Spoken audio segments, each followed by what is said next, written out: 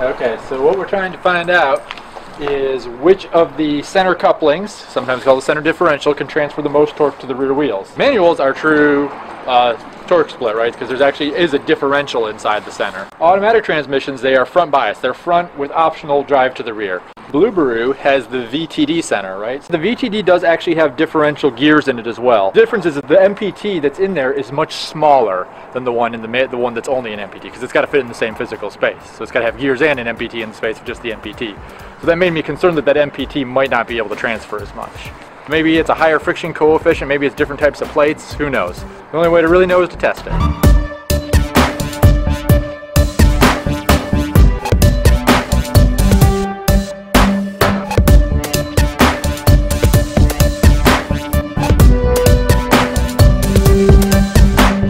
So the problem is there's, there's also an MPT inside that VTD. So if you didn't have that MPT working, with, it, with that center differential unlocked, the, M the VTD should essentially act like an open diff.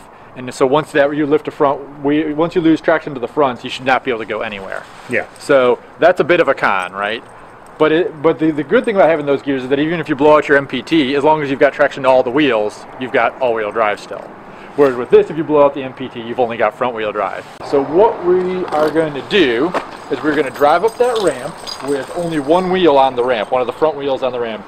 So essentially there is no power to the fronts. And so the, essentially what we're really testing is when there's a no, no load on the front, how much traction can you transfer to the rear. Because Granny has the torque locker, this is really easy for her. The front's a little heavier on these cars, so the front wants to kind of stay down and the back left rear wheel is going to want to lift up on us, which means you're going to lose, if you've got an open differential, we're not going to get any drive to the rear either. So we got a big old metal bar we're going to stick in the hitch to use to keep the rear wheels on the ground to see if it has actually has traction to the rear, if it can transfer more power to those rears.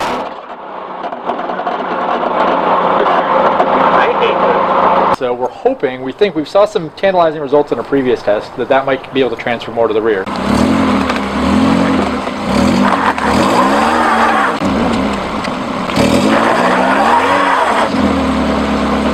Alright, well you made it part way up. Let's see if Granny can do it.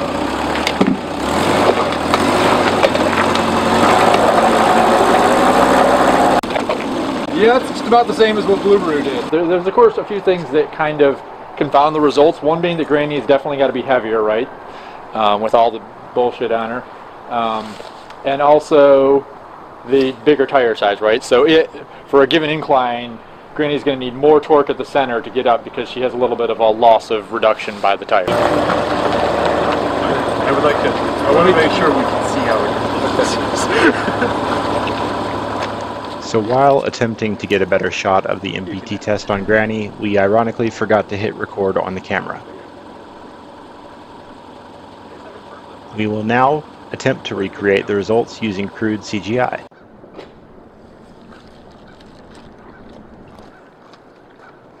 Notice that Granny did not make it up as far as it did on the previous test. This was likely due to the added leverage from the steel bar causing the front passenger wheel to lift sooner than it did before. Now that test is done.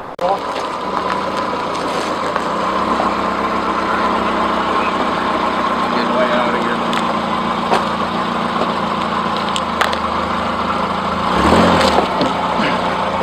Am I good? Are you locked up? Yeah. Hey, so try unlock first. Unlocked. Okay. It's actually runs in auto. Okay, you spin in the front.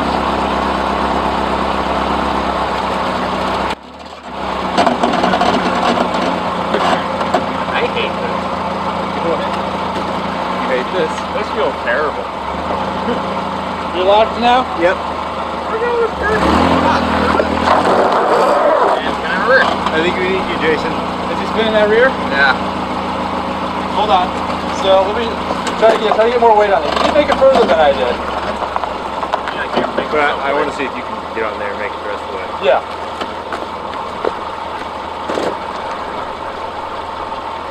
Maximum sketchiness. So,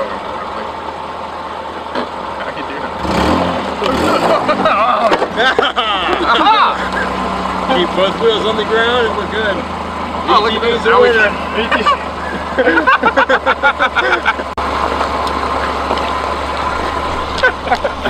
You have a lot of authority over that car's position. I suppose I do.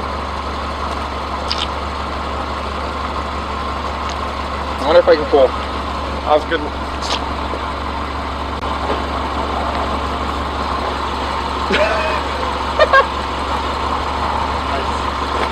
Well, that's the power of levers. It's about perfectly balanced, isn't it? Well, plus the leverage. Yeah, I can bounce it from one tire to the other.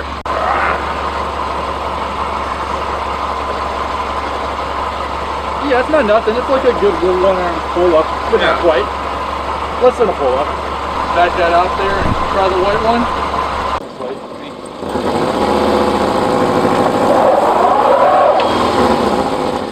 Spin one of each. Yeah. Tried to give it some handbrake. Can you roll the back window down?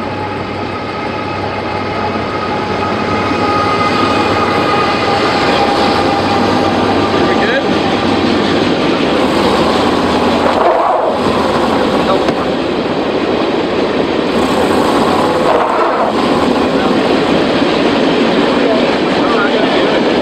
We're done. Commentary. Um, VTD is the best. VTD is better than Granny. Of course, we don't know how worn out each of their clutch packs are, or why they're close to my face. well, because there's a train right there. Oh, you want to hear me over the train. I don't know what else to say. The VTD seems better. This is a very small sample size. We probably, we know only slightly more than we did before. But it seems that the VTD is better. So what we've proven is that you don't need to buy a torque locker when you just have a buddy and a big ass piece of metal.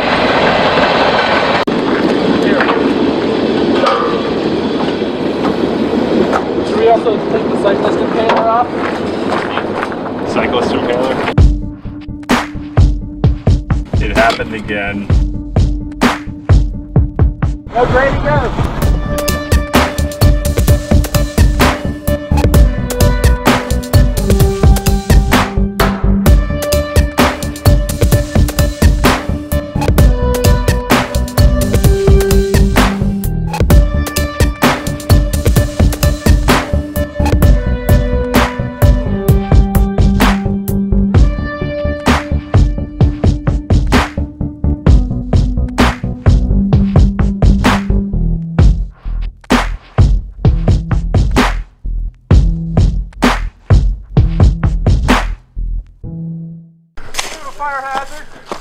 Yeah, a little bit. Jesus. Ah, maybe as far as Bluebird though. A little further. Yeah, I think so. Yeah. Further than that Jeep too. Was it? Yeah. Nice. I don't think I'm gonna make it the rest of the way though. I don't think so. I'm probably just gonna back on down. I backed down real carefully.